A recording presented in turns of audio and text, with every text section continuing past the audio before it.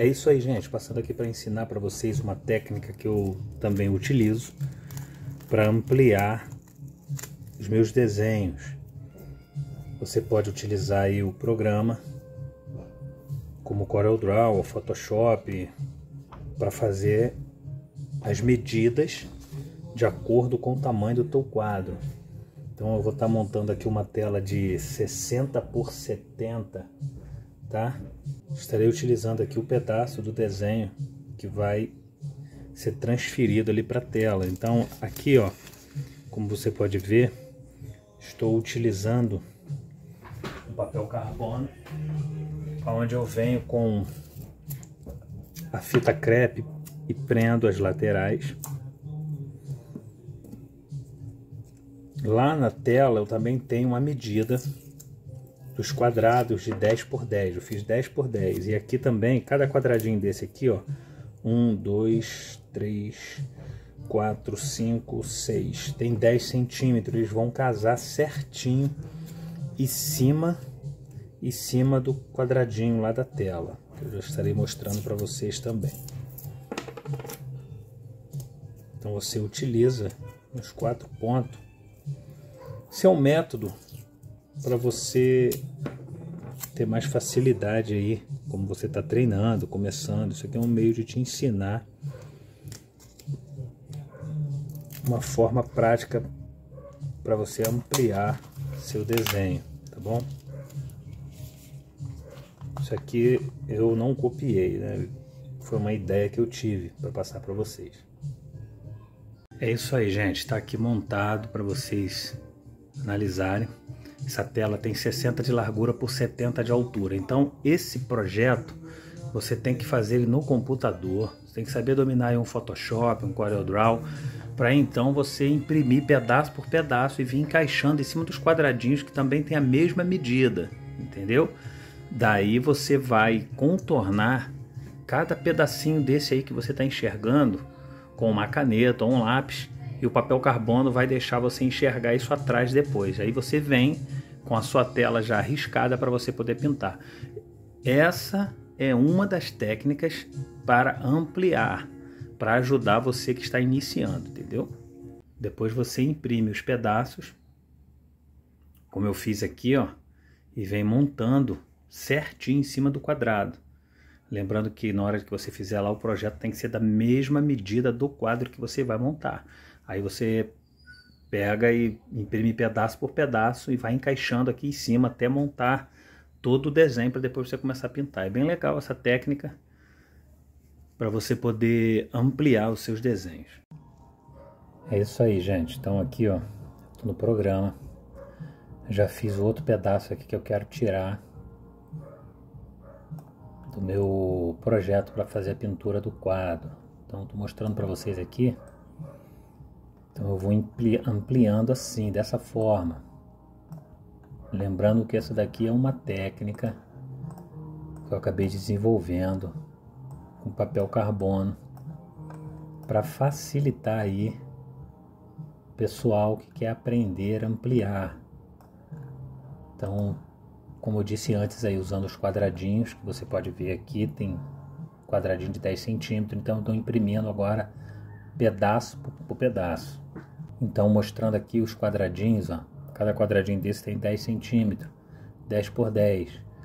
O quadro lá tem 60 por 70. Aqui, ó, ele tem 60 por 70 também. Então, eu vou tirando cada pedaço dele.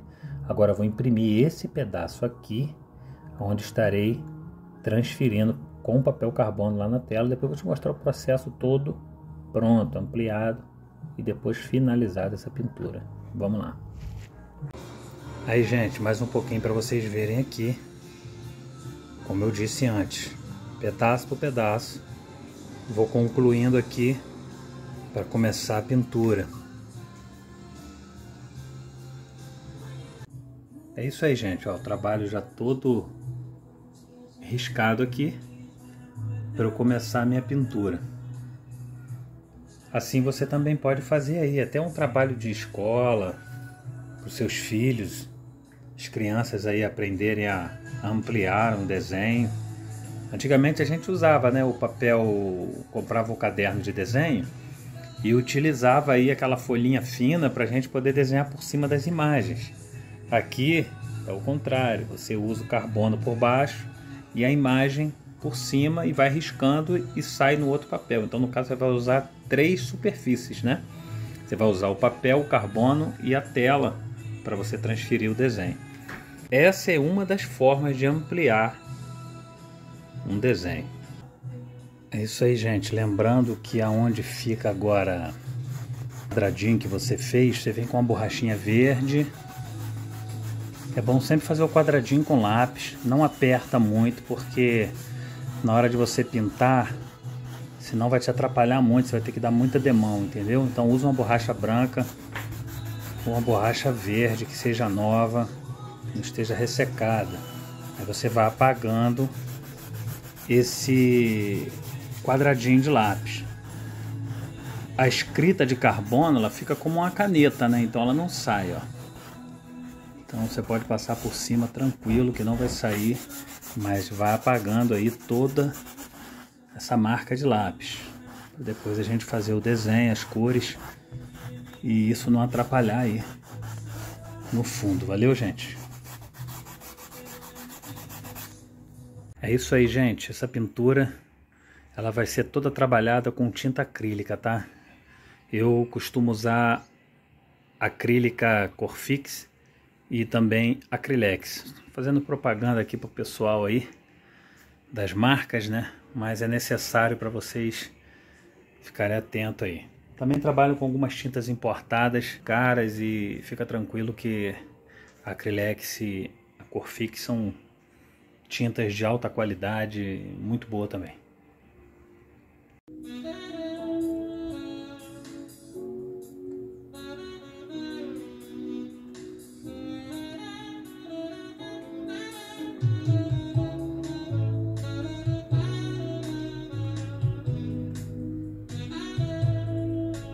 É isso aí, gente. Olha aí como está ficando, tá? Já dei a primeira mão. Lembrando que nessa pintura não vou utilizar cor preta, apenas tonalidades de azul. E a cor quente que eu vou utilizar aqui vai ser vermelho. Então vou passando para vocês aí, vão acompanhando porque vai ficar bem bacana depois de finalizado. Segue aí mais uma vez, ó, apliquei aí a outra tonalidade de azul. Vai entrar outro azul mais claro aí agora, que vai fazer a pele, vai fazer outra sombra também. E depois um azul também que vai fazer o fundo. E como eu disse antes aí, a cor vermelha que é a cor quente. Então pode ver que tá ficando bem legal.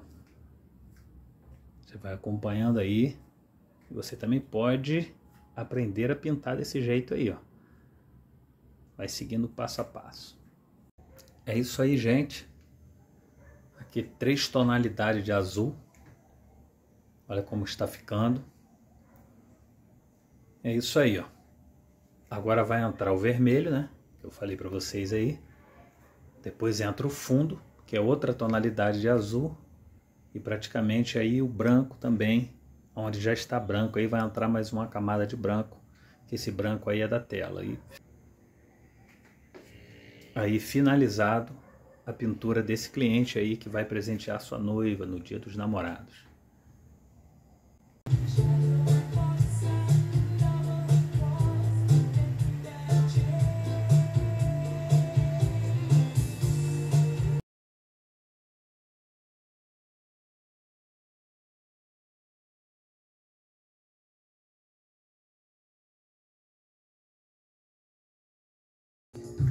É isso aí, gente. Olha aí como está ficando.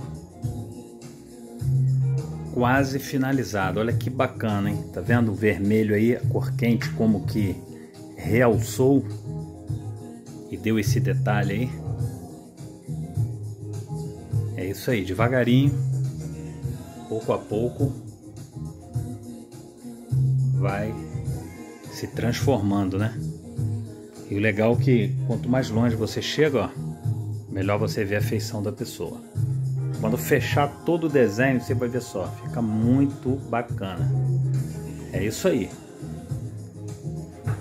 Me segue aí, aciona o sininho, curte e compartilha.